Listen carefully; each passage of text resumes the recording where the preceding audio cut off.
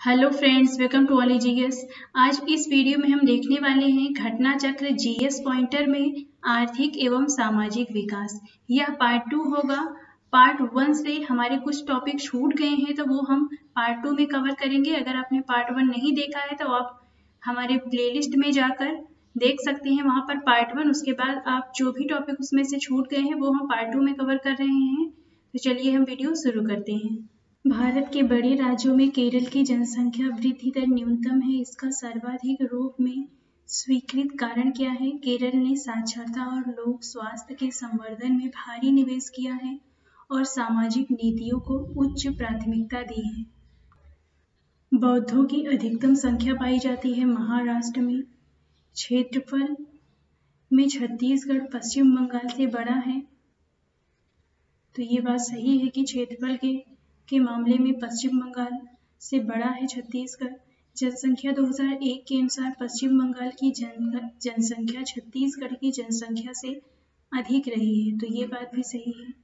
भारत की गिनती जनांकिकी लाभांश, डेमोग्राफिक डिविडेंट वाले देश के रूप में की जाती है। ऐसा इसलिए है क्योंकि यहाँ पर 15 से लेकर चौसठ वर्ष की आयु की जनसंख्या सर्वाधिक है, इसलिए भारत की गिनती जनांकिकी लाभांश वाले देश के रूप में की जाती है। जब जनसंख्या विशेषज्ञ 2016 के अनुसार सॉरी, जब जनसंख्या विशेषज्ञ 2016 के आसपास भारत को मिलने वाली संभावित जनसांख्यिकी बोनस की बात करते हैं तो उसका आशय जनसंख्या में उत्पादनकारी आयु समूह में वृद्धि है। जनसंख्या वृद्धि का प्रतिकूल प्रभाव नहीं है, कार्यकारी जनसंख्या के आकार में वृद्धि। निम्नलिखित में से कौन सी बात सही नहीं है? भारत में विश्व की 18 प्रतिशत जनसंख्या रहती है। तो ये बात सही नहीं है। भारत की जनसंख्या 121 करोड़ है, ये सही है। 2001 से 11 के दशक में जनसंख्या वृद्धि अठारह दशमलव एक करोड़ की हुई है। ये भी सही है, जनसंख्या का सर्वाधिक घनत्व तो दिल्ली में है तो ये भी सही है। यह 2011 के अनुसार इसमें बी सी और डी का सही है। बाढ़ों में वृद्धि, प्रदूषण में वृद्धि, कृषि योग्य भूमि में कमी तथा वन्य जीवों में अभिवृद्धि में से भारत की जनसंख्या वृद्धि का प्रतिफल नहीं है। वन्य जीवों में वृद्धि जब दंपति रक्षण की दर में वृद्धि हो रही हो तो जन्म दर तभी घटेगी जब दंपति कम आयु की हो। वर्ष 2011 की जनगणना के अनुसार भारत में लिंग अनुपात प्रति एक हज़ार पुरुषों के पीछे स्त्रियों की संख्या है, ये लिंग अनुपात तो कितनी रही है? प्रति एक हज़ार पुरुषों के पीछे 943 महिलाएँ हैं। 2011 की जनगणना के अनुसार भारतीय राज्यों में न्यूनतम लिंगानुपात पाया गया है कहाँ पर? हरियाणा में। वर्ष 2001 से 11 के मध्य मध्य प्रदेश, मध्य उत्तर प्रदेश में लिंग अनुपात में वृद्धि हुई है एक हज़ार पुरुषों पर दस महिलाओं से।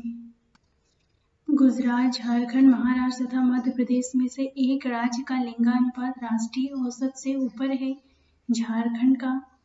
1949 धार्मिक समुदाय बौद्ध, जैन, ईसाई तथा मुसलमान का यौन अनुपात में अवरोही क्रम है। ईसाई, बौद्ध, जैन तथा मुसलमान। 2011 की जनगणना से संबंधित अतिरिक्त आंकड़ों के अनुसार भारत के जिस समुदाय के बारे में कम लिंग अनुपात है, वह है सिख। भारत में न्यूनतम यौन अनुपात जिस केंद्र शासित प्रदेश में पाया जाता है, वह है दमन एवं दीव। 618 है यहाँ पर। भारत में निम्न लिंगानुपात के लिए उत्तरदायी कारण क्या है? उच्च मात्र मृत्यु दर उच्च बालिका मृत्यु दर बालिका भ्रूण हत्या तथा महिलाओं की, बालिकाओं की तुलना में अधिक बालकों का जन्म। वर्ष 2011 की जन, जनगणना के अनुसार प्रति एक हज़ार पुरुषों पर महिलाओं की संख्या है। केरल में दस है प्रति एक हज़ार पुरुषों पर। जनगणना 2011 के अनुसार भारत के जिस राज्य में महिला लिंग अनुपात सर्वाधिक है, वह केरल है। 2011 में तमिलनाडु आंध्र प्रदेश कर्नाटक, ओडिशा में से उच्चतम लिंगानुपात तमिलनाडु का है। 996 भारतीय संघ शासित क्षेत्रों में से लिंग अनुपात प्रति एक हज़ार पुरुषों की तुलनाओं में महिलाओं की संख्या एक हज़ार से ऊपर है। पुदुचेरी में कितनी है? दस सौ सैंतीस। यहाँ पर सुमेलित करना है। 1951 में लिंगानुपात 946, 71 में 930, 1991 में 927 और 2011 में 943। 2011 की जनगणना के अनुसार भारत में न्यूनतम यौन अनुपात पाया गया है दमन और दीव में। 618 है यहाँ पर। यहाँ पर कुछ कथन दिए गए हैं। इनमें ये बताना है कि कौन सा कथन सही है। तो इसमें हम देखते हैं 2011 में राजस्थान में लिंगानुपात राष्ट्रीय औसत से कम था। तो ये बात सही है। राजस्थान के सभी जिलों में लिंगानुपात 1000 से कम था, ये भी सही है। राजस्थान के सभी जिलों के ग्रामीण क्षेत्रों के लिंगानुपात 1000 से कम था, ये भी सही है। राजस्थान के सभी जिलों के शहरी जिलों में लिंगानुपात 1000 से कम था। ये गलत है धौलपुर के अलावा दिया गया है यहाँ पर। 2011 की जनगणना के अनुसार यहाँ पर ये पूछा गया है तो इसमें एक, तीन, एक, दो तथा तीन सही है। भारत की जनगणना 2011 के अनंतम आंकड़ों के अनुसार छत्तीसगढ़, हरियाणा, उत्तर प्रदेश, पंजाब में से शिशु लिंग अनुपात सर्वाधिक है, छत्तीसगढ़ में है। भारत की जनसंख्या 2011 के अनुसार जम्मू कश्मीर, केरल, पंजाब तथा हरियाणा में से शिशु जनसंख्या का प्रतिशत भाग ग्रामीण क्षेत्रों में न्यूनतम कहाँ पर है? केरल में। भारत के न्यूनतम जनसंख्या घनत्व वाले राज्यों का आरोही क्रम पूछना है। आरोही क्रम हमें यहाँ पर बताना है, न्यूनतम जनसंख्या वाले राज्यों का आरोही क्रम। तो न्यूनतम जनसंख्या वाले राज्यों का घनत्व घनत्व का आरोही क्रम है। अरुणाचल प्रदेश में सबसे कम घनत्व है। मिजोरम, सिक्किम, फिर मणिपुर आता है। भारत के राज्यों में सबसे कम खाना आबादी वाला राज्य कौन सा है?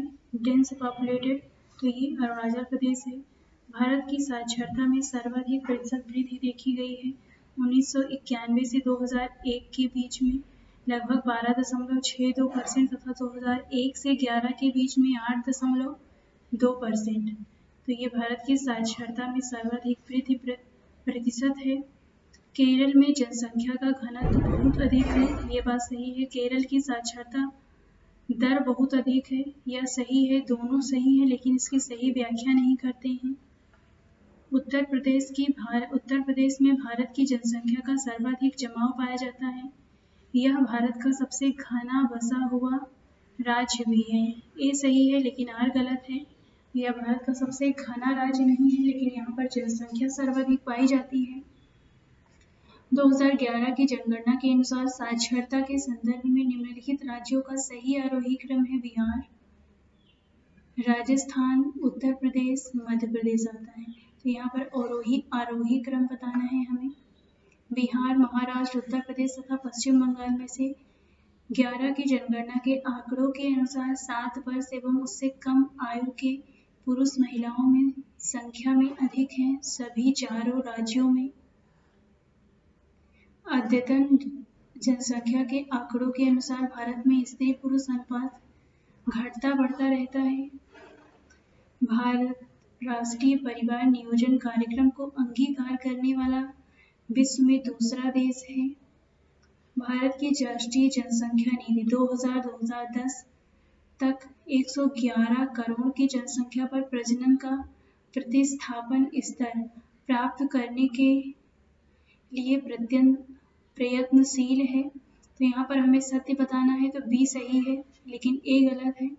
भारत की प्रजनन प्रतिस्थापन स्तर प्राप्त करने वाला केरल प्रथम राज्य है, सी भी सही है। भारत की राष्ट्रीय जनसंख्या नीति 2000 के अनुसार जनसंख्या स्थिरता प्राप्त करने का हमारा दीर्घावधि लक्ष्य था, वर्ष 2045 तक। राष्ट्रीय जनसंख्या नीति 2000 के अंतर्गत जो एक लक्ष्य था, वह कि वर्ष 2045 तक जनसंख्या में स्थिरता प्राप्त कर ली जाए, अब वह लक्षित कर दिया गया है 2070 तक के लिए। सर्वाधिक यौन अनुपात वाले राज्य केंद्र शासित प्रदेशों में अवरोही क्रम बताना है, इसमें केरल, पुडुचेरी, तमिलनाडु, आंध्र प्रदेश यह सर्वाधिक यौन अनुपात वाले राज्यों का है। देश के वे समूह जिनकी जनसंख्या उत्तर प्रदेश से अधिक है, चीन भारत, अमेरिका, इंडोनेशिया तथा ब्राज़ील भारत में वरिष्ठ आयु निर्भरता अनुपात है। चौदह दशमलव दो परसेंट भारत में आबादी, वर्तमान आबादी में पैंसठ वर्ष से अधिक आयु वाले व्यक्तियों पर प्रतिशतता कितनी है? चार दशमलव आठ परसेंट। जनगणना 2011 के अनुसार भारत में अनुसूचित जनजातियों की जनसंख्या का प्रतिशत है। आठ दशमलव छः परसेंट। अनुसूचित जातियों का प्रतिशत कुल जनसंख्या में उच्चतम पंजाब में है, इकतीस दशमलव नौ परसेंट। अनुसूचित जातियों के लोगों की संख्या सबसे अधिक है उत्तर प्रदेश में। वह राज्य जहाँ अनुसूचित श्रेणी में कोई जन, जनजाति आबादी नहीं रखी गई है, पंजाब है। भारतीय राज्यों में सर्वाधिक जनजाति जनसंख्या क्रमशः मध्य प्रदेश व छत्तीसगढ़ में है। जनसंख्या दो, जनगणना 2011 के आंकड़ों के अनुसार वर्तमान भारत में सर्वाधिक साक्षरता वाला जिला कौन सा है? सरजीप मिजोरम का है ninety seven point nine one percent वहाँ की साक्षरता दर है। भारत में प्रभावित साक्षरता दर की गणना की जाती है सात वर्ष की उम्र से ऊपर की जनसंख्या से। जनगणना 2011 के आंकड़ों पर आधारित भारत में चार सबसे कम साक्षरता वाले राज्यों का सही आरोही क्रम है बिहार। अरुणाचल प्रदेश, झारखंड, राजस्थान तथा झारखंड। यहाँ पर आरोही क्रम है। चार सबसे कम साक्षरता वाले राज्यों का। सबसे कम बिहार में, उसके बाद अरुणाचल प्रदेश फिर राजस्थान, उसके बाद आता है झारखंड का नंबर। जनगणना 2011 के आंकड़ों के अनुसार उत्तर प्रदेश की कुल जनसंख्या 2001 से 11 के दौरान 10 की वृद्धि दर थी बीस दशमलव दो तीन परसेंट। 2011 के अनंतिम आंकड़ों के अनुसार भारत में पुरुष और महिला साक्षरता दर का अंतराल रहा है सोलह दशमलव छः आठ प्रतिशत का। भारत की जनसंख्या का वह प्रतिशत जो उत्तर प्रदेश में लग, रहता है लगभग सत्रह परसेंट सोलह दशमलव फाइव वन परसेंट जनगणना 2011 के आंकड़ों के अनुसार देश में महिलाओं की साक्षरता दर है लगभग चौसठ दशमलव छः परसेंट भारत में सर्वाधिक ग्रामीण साक्षरता पाई जाती है केरल में। और गोवा में उसके बाद जनगणना 2011 के अंतिम आंकड़ों के अनुसार केरल पर मणिपुर, तमिलनाडु तथा हिमाचल प्रदेश राज्यों का साक्षरता प्रतिशत रहा है। केरल का 94 परसेंट हिमाचल प्रदेश 82.8 परसेंट तमिलनाडु अस्सी दशमलव एक और मणिपुर 79.2 परसेंट 2011 जनगणना के अनुसार राज्यों में स्त्री साक्षरता दर सबसे कम रही है, बिहार की इक्यावन दशमलव पाँच परसेंट की। संघ शासित राज्यों में स्त्री साक्षरता 2011 की जनगणना के अनुसार उच्चतम रही है। लक्षद्वीप 87.9 परसेंट। महिला साक्षरता दर उच्च एवं न्यूनतम कहाँ पर रही है? सबसे ज़्यादा केरल में और सबसे कम बिहार में। भारत की सकल प्रजननता दर कहाँ कितनी है? दो दशमलव चार परसेंट है। शून्य जनसंख्या वृद्धि दर की प्राप्ति हेतु प्रतिस्थापन जनन स्तर प्रत्येक ब्याही जोड़े के लिए अनुमानित किया गया है। दो दशमलव एक परसेंट। यदि जन्म एवं मृत्यु दर समान है तथा अंत या बाहा प्रव्रजन नहीं होता है तो जनसंख्या में कोई परिवर्तन नहीं होता है। इसे कहा जाता है जनसंख्या की स्थिरता। 2001 से 11 के दौरान भारतीय राज्यों व केंद्र शासित प्रदेशों में साक्षरता दर सर्वाधिक वृद्धि दर्ज दर्ज की गई है दादरा व नगर हवेली की। वर्ष 2011 की जनगणना के अनुसार सर्वाधिक साक्षरता दर वाले राज्य शीर्ष पाँच राज्य हैं केरल, मिजोरम, गोवा, त्रिपुरा, हिमाचल प्रदेश। भारत में स्त्री साक्षरता की दृष्टि से पाँच राज्य कौन कौन से हैं? तो पहला है केरल मिजोरम, गोवा, त्रिपुरा तथा नागालैंड। स्त्री साक्षरता के अनुसार है ये। वर्ष 2011 की जनगणना के अनुसार भारत के जिस राज्य में स्त्री पुरुष शिक्षा में निम्नतम अंतर है, वह मेघालय है। भारत में वर्तमान से सुमृत्यु दर है लगभग 40 प्रति हज़ार में 40 बच्चों की मृत्यु हो जाती है। मृत्यु से सुमृत्यु हुए एक हज़ार जीवित बच्चों में से अपने पहले जन्मदिन के पहले मरने वाले बच्चों की संख्या का अनुपात दो से एक साल होने से पहले ही अगर बच्चे मर जाते हैं तो उसे शिशु मृत्यु दर कहा जाएगा। एक हज़ार बच्चों में कितने बच्चे मर रहे हैं तो यह वर्तमान में 2011 की जनगणना के अनुसार एक हज़ार बच्चों में चालीस बच्चों की मृत्यु हो जाती थी। भारत में वर्तमान में अशोधित मृत्यु दर है सात परसेंट। जनगणना 2011 के अनुसार शीर्ष मृत्यु दर सबसे कम थी, गोवा और मणिपुर की प्रत्येक में 11 थी। भारत में सर्वाधिक मृत्यु गणना शुरू की गई कर्नाटक ने। कर्नाटक में शुरू की गई, शुरुआत की गई है। भारत के नगरीय क्षेत्रों में न्यूनतम शिशु मृत्यु दर पाई जाती है केरल में। भारत में बीमारू राज्यों में सबसे घना आबाद राज्य बिहार का है। जनगणना 2011 के आंकड़ों के अनुसार भारत 35 वर्ष की आयु से कम की जनसंख्या है, पैंसठ दशमलव छः परसेंट। जनगणना 2011 के आंकड़ों के अनुसार, भारत की जनसंख्या में स्त्रियों का प्रतिशत रहा है 48.53 परसेंट, कुल प्रजनन दर। फर्टिलिटी रेट भारत में उच्चतम है, बिहार में तीन दशमलव चार परसेंट। तीन दशमलव चार है, प्रजनन दर है ये जनगणना दो के अनुसार 2011 की जनगणना के अनुसार भारत की कुल जनसंख्या में 20 वर्ष और उससे अधिक आयु के लोगों का प्रतिशत 59.29 परसेंट है। जनसंख्या के पिरामिड में आश्रित आबादी के रूप में जाना जाता है। ज़ीरो से 14 वर्ष आयु समूह, पैंसठ से अधिक आयु समूह, आयु के भी आश्रित समूह हैं। जनगणना 2011 के आंकड़ों के अनुसार भारत में सर्वाधिक लिंगानुपात वाला जिला है माही, पांडुचेरी का है और यहाँ पर ग्यारह सौ चौरासी लिंगानुपात है। वर्ष 2011 की जनगणना के अनुसार उत्तराखंड राज्य की साक्षरता दर है 78.8 परसेंट। जनगणना आकलन रिपोर्ट प्रदर्शित करती है कि भारत विश्व का सबसे युवा देश है। वर्ष 2020 में भारतीयों की औसत उम्र होगी 29 वर्ष। जनगणना 2011 के अनुसार भारत में 14 वर्ष से कम आयु वालों की जनसंख्या सकल आबादी का प्रतिशत है लगभग 29 परसेंट। जनगणना 2011 के अनुसार मुस्लिम आबादी सर्वाधिक उत्तर प्रदेश में है। भारत के प्रगतिशील राज्य, भारत के प्रगतिशील जनसंख्या संसाधन क्षेत्रों में सम्मिलित किए जाते हैं पश्चिम बंगाल, डेल्टा, दक्कन ट्रैप महाराष्ट्र और गुजरात, तमिलनाडु। पंजाब का मैदान और गंगा, यमुना, दोआब, दक्षिण पूर्वी कर्नाटक पठार तो ये है प्रगतिशील जनसंख्या संसाधन क्षेत्रों में सम्मिलित किए जाते हैं। जनांकिकी लाभांश के पूर्ण लाभ को प्राप्त करने वाले भारत को करना चाहिए कुशलता, विकास का प्रोत्साहन। Philip M. हॉसर के अनुसार ग्रामीण क्षेत्र से शहरी क्षेत्र में लोगों का देशांत गमन जाना जाता है जनसंख्या इम्प्लोजन भारत में नगरीकरण से संबंधित जो भी प्रश्न दिए गए हैं घटना चक्र में, अब हम वो देख लेते हैं। एक नगर किसी ग्राम से भिन्न होता है, क्रमशः सामाजिक मूल्यों, पारिवारिक संरचना रहन सहन के तरीके तथा आर्थिक क्रियाकलापों के संदर्भ में। शहरी वृद्धि सूचक है, कुल शहरी जनसंख्या में बढ़ोतरी का शहरी केंद्रों की संख्या में वृद्धि का, देश की कुल जनसंख्या में वृद्धि का, तथा शहरी क्षेत्रों से आय में वृद्धि का।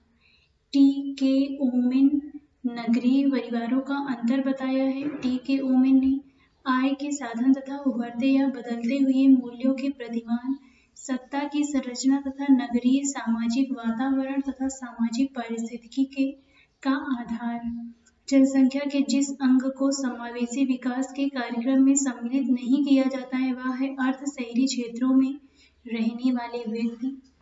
भारत में मध्यम नगरीकरण की अवस्था से विशेषित है। 1931 से 60 1961 का समय। भारत में नगरीकरण का स्तर चीन से काफ़ी नीचा है। भारतीय नगर कम नियोजित है। यहाँ पर ए और आर दोनों सही है, लेकिन सही व्याख्या नहीं करते हैं।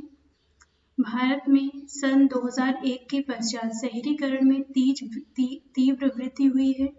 ये बात तो सही है। भारत में मोबाइल संप्रेषण के क्षेत्र में क्रांति हो रही है। दोनों सही है, लेकिन सही व्याख्या नहीं करते एक दूसरे की। भारत के शहरीकरण के संबंध में सही कथन नहीं है। भारत में सभी क्षेत्रों का शहरीकरण सर्वथा समान रूप से हुआ है तो ये बात सत्य नहीं होती है। अधिवास को नगरीय केंद्र परिभाषित करने के लिए स्वीकार किया गया है। जनसंख्या, आकार, जनसंख्या, घनत्व तथा व्यवसायिक संरचना। भारत में नगरीकरण से जन्म और मृत्यु दर दोनों घटी है। 2011 की जनगणना के आधार पर सुमेलित करना है। प्रकृति है, इस तरफ़ राज दिए गए हैं, सर्वाधिक शहरीकृत राज्य। तमिलनाडु, अधिकतम शहरी आबादी वाला राज्य महाराष्ट्र, अधिकतम जनसंख्या घनत्व वाला राज्य दिल्ली, सबसे कम जनसंख्या घनत्व वाला राज्य अरुणाचल प्रदेश। भारत में नगरीकृत केंद्रों की वर्गीकृत संख्या छह है। नगरीय भारत का विस्तार एक प्लेटफॉर्म है औद्योगिक विकास का। आधुनिक सेवा क्षेत्र के विकास तथा परिष्कृत आय अवसरों के निर्माण का। भारत के दो नगरीय केंद्र, जो विश्व के सबसे अधिक जनसंख्या वाले दस शहरों में से हैं, मुंबई तथा दिल्ली। मुंबई, कोलकाता, चेन्नई, दिल्ली महानगरों में से लिंगानुपात अधिकतम है चेन्नई में। 2011 की जनगणना के अनुसार भारत में जनगणना नगरों की कुल संख्या है तीन हज़ार आठ सौ बानबे दो हज़ार ग्यारह के अनुसार भारत में नगरीय जनसंख्या प्रतिशत है thirty one point one six दो हज़ार ग्यारह के अनुसार भारत में रह, शहरों में रहने वाले लोगों की संख्या है लगभग सैतीस करोड़। भारत में ज़िले हैं 640 भारत की कुल नगरीय जनसंख्या 2011 में 10 लाखी नगरों का प्रतिशत योगदान है 42.6 परसेंट 2011 की जनगणना के अनुसार भारत के प्रथम वर्ग के नगरों का योगदान कुल नगरीय जनसंख्या में लगभग 70 प्रतिशत है। गत 30 वर्षों में दिल्ली में सर्वाधिक प्रवासी आए हैं।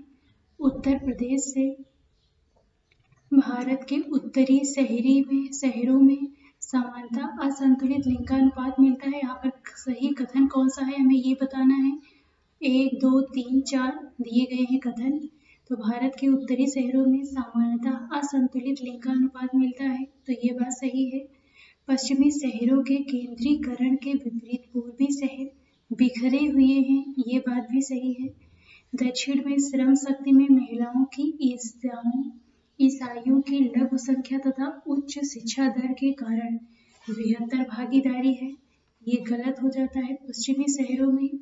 ग्रामीण क्षेत्रों से लघुत्तर प्रवर्जन होता है। ये बात भी सही है। 2011 की जनगणना के अनुसार 10 लाख जनसंख्या वाले नगरों की सर्वाधिक संख्या है। उत्तर प्रदेश एवं केरल, दोनों में साथ साथ 2011 की जनगणना के अनुसार 10 लाख, लाखी प्लस जनसंख्या के नगरीय समूह नहीं हैं। ओडिशा में भारत की एक चौथाई अधिक नगरीय जनसंख्या, जिन दो राज्यों में निवास करती है। वे हैं महाराष्ट्र एवं उत्तर प्रदेश।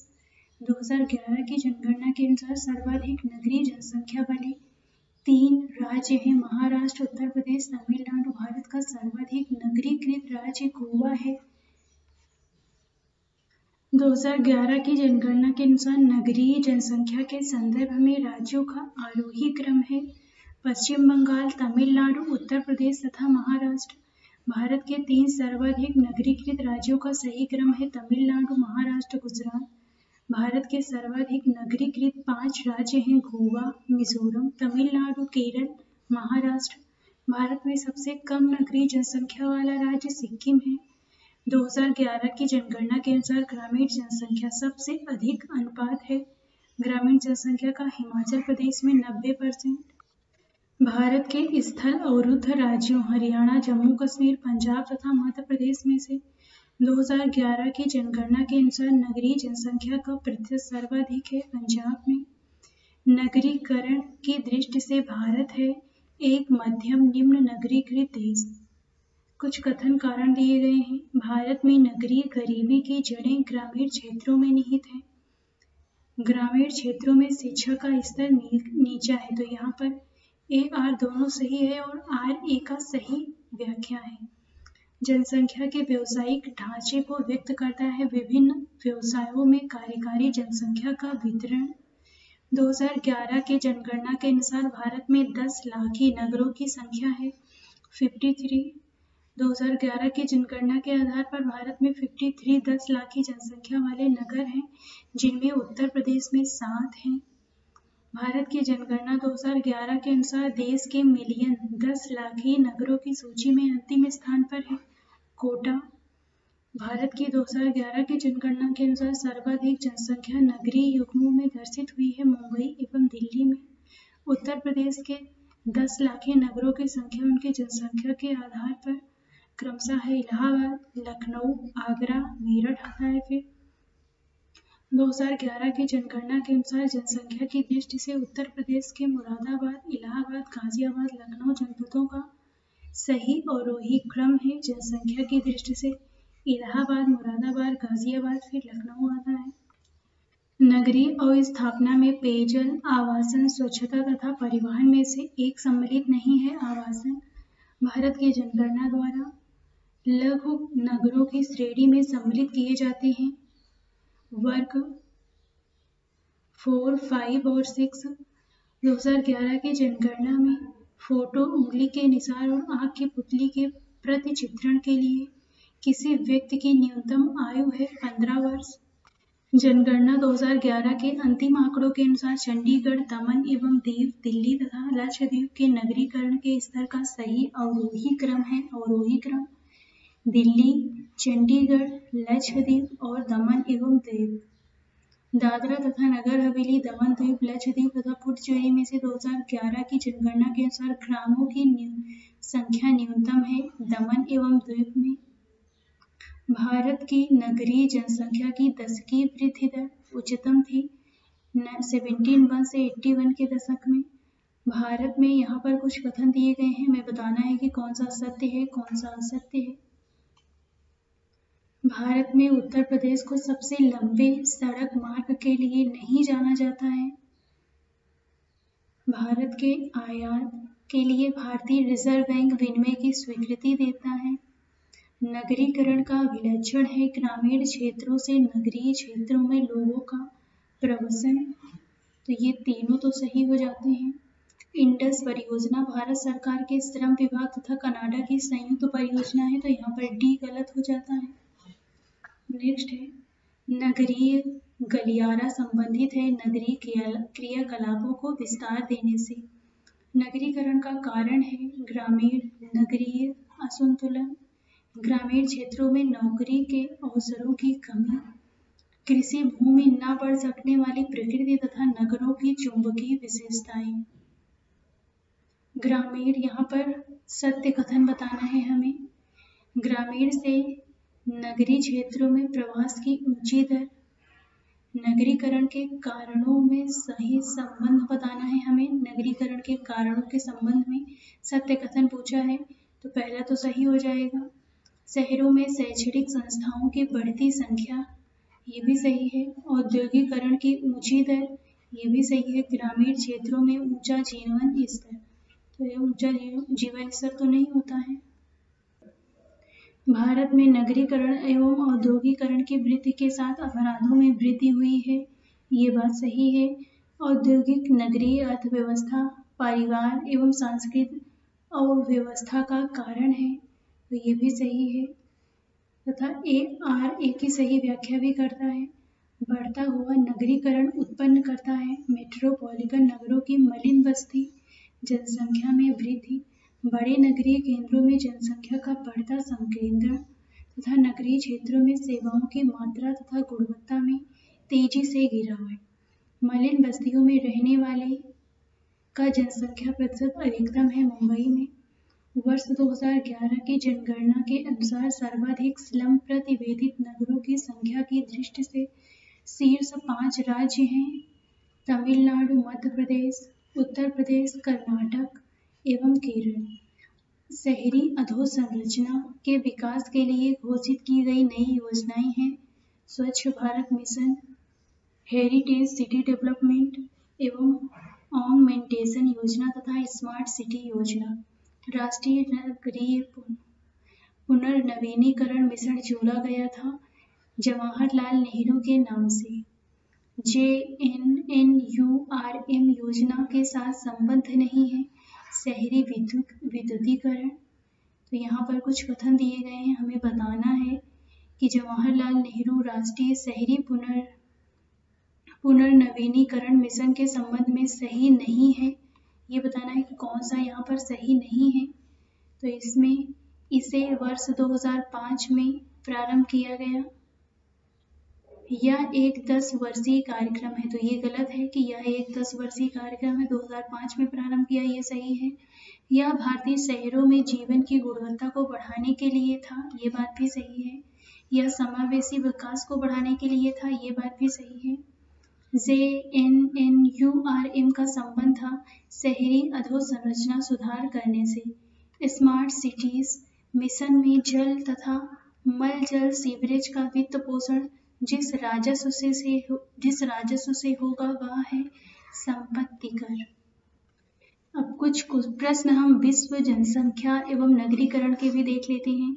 लोक नगरीय सातत्य के विचार को उस आधार पर विकसित किया गया है जो अध्ययन किया जाए किए गए मैक्सिको में। रेड फ़ील्ड तथा सिंगर के विचार में प्राथमिक नगरीकरण की प्रक्रिया को विशेषीकृत किया जाता है बृहद परंपरा के विकास से।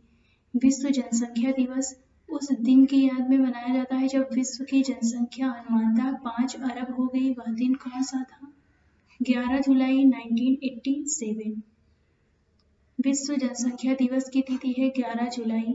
विश्व की 50 प्रतिशत जनसंख्या संकेंद्रित है। 20 डिग्री नॉर्थ से लेकर 40 डिग्री नॉर्थ अक्षांशों के बीच में। विश्व में लिंग अनुपात घटने का डर है। लिंग निर्धारण के परीक्षण बढ़ने से। नया जनसंख्या बम का तात्पर्य है शीघ्रता से बढ़ रही नगरों की जनसंख्या।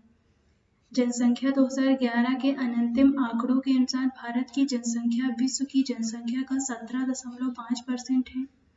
संयुक्त राष्ट्र आवास विश्व वैश्विक मानव बस्ती report, UN habitat's global report on human settlement 2009 के अनुसार विगत तीन दशकों में शहरीकरण की सबसे तीव्र वृद्धि दर रही है। एशिया क्षेत्र में विश्व के नगरों की स्थिति पर यूएन हैबिटेट में रिपोर्ट के अनुसार उत्पादकता, अनुकूलता, जनसंख्या, जीवन की गुणवत्ता तथा क्षमता में से एक नगरों की समृद्धि निर्धारण करने का आधार नहीं है। अनुकूलतम जनसंख्या अफ्रीका का सर्वाधिक जनसंख्या वाला देश नाइजीरिया है। दक्षिण एशिया के देशों प्रतिशत नगरीकरण का बांग्लादेश, भारत, पाकिस्तान तथा श्रीलंका, और वही क्रम है पाकिस्तान, भारत, बांग्लादेश तथा श्रीलंका। विश्व के सर्वाधिक पाँच जनसंख्या वाले देश हैं Bharat, China, Bharat, America, Indonesia तथा ब्राज़ील। दक्षिण अमेरिका का सर्वाधिक नगरीकृत देश अर्जेंटीना है। सर्वाधिक नगरीकृत महाद्वीप ऑस्ट्रेलिया है। जनसंख्या वृद्धि का सर्वाधिक प्रतिशत जिस महाद्वीप के देशों में देखा गया है, वह है अफ्रीका। दक्षिण अमेरिका का सबसे घना बसा देश इक्वाडोर है। एक अनुमान के अनुसार विश्व की सत्तर प्रतिशत आबादी जिस वर्ष तक नगरों में सिमट जाएगी, वह है वर्ष 2050 जनसंख्या के घटते हुए क्रम में चीन और भारत के बाद आते हैं संयुक्त राज्य अमेरिका और इंडोनेशिया। जन्म के समय जीवन प्रत्याशा वर्षों में सर्वाधिक है जापान की। जनसंख्या घनत्व सर्वाधिक एशिया महाद्वीप में है। 2011 में जनसंख्या का सबसे, जनसंख्या घनत्व सबसे कम था उत्तरी अमेरिका में। कनाडा, फिनलैंड, नॉर्वे तथा रूस में से जनसंख्या का घनत्व सबसे कम है कनाडा में। भारत, चीन, भारत, इंडोनेशिया संयुक्त राज्य, अमेरिका देशों में से नगरीय जनसंख्या सर्वाधिक चाइना में है। अफ़गानिस्तान, बांग्लादेश, भारत तथा पाकिस्तान देशों में प्रजनन दर उच्चतम है अफ़गानिस्तान में। दक्षिण एशिया में वृद्धि जनसंख्या का सर्वाधिक प्रतिशत वाला देश है श्रीलंका। धर्म के आधार पर विश्व की जनसंख्या का आरोही क्रम है। ईसाई, मुस्लिम, हिंदू, बौद्ध नील घाटी तथा जावा द्वीप में उच्च जनसंख्या घनत्व होने का प्राथमिक कारण है सघन कृषि। संसार में सर्वाधिक नगरीकृत देश हैं सिंगापुर, मकाऊ आदि।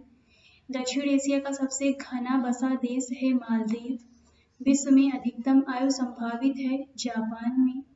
दक्षिण एशिया के बांग्लादेश, भारत, श्रीलंका तथा पश्चिम बंगाल का साक्षरता की स्थिति में घटता क्रम है श्रीलंका, भारत, पाकिस्तान तथा बांग्लादेश।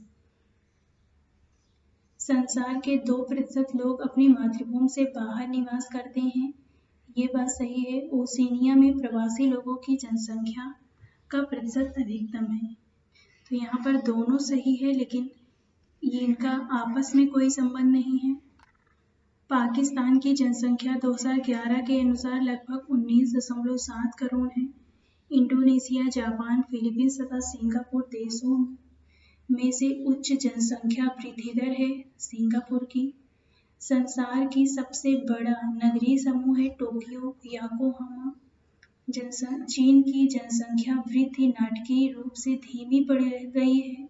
ये बात सही है। कथन कारण दिए गए हैं। एक बच्चा प्रति परिवार नीति के कारण उसकी प्रजनन दर में कमी आई है, ये बात भी सही है और यह आर ए की सही व्याख्या भी करती है और आर ए दोनों सही भी है। एशिया का सबसे बड़ा नगर है संघाई एशिया का सर्वाधिक नगरीकृत देश है कतर। भारत की नगरीय जनसंख्या ब्रिटेन की कुल जनसंख्या से अधिक है। ब्रिटेन का नगरीकरण, भारत के नगरीकरण स्तर से उच्चतर है तो यहाँ पर आर ए दोनों सही है, लेकिन व्याख्या नहीं करते हैं सही। नेक्स्ट भी कथन और कारण ही दिया गया है, एशियाई नगर अत्यधिक नगरीकृत हैं। ये बात सही है, उनकी वृद्धि आर्थिक विकास को लांग गई है, दोनों सही हैं, तथा आर ए की सही व्याख्या भी करता है। आज कुल जनसंख्या में प्रवासी लोगों का प्रतिशत अधिकतम है, यूएसए में। संसार में निम्नतम प्रजनन दर है पुर्तगाल, बोस्निया तथा मालडोवा की। एशिया में मात्र मृत्यु दर उच्चतम है नेपाल की।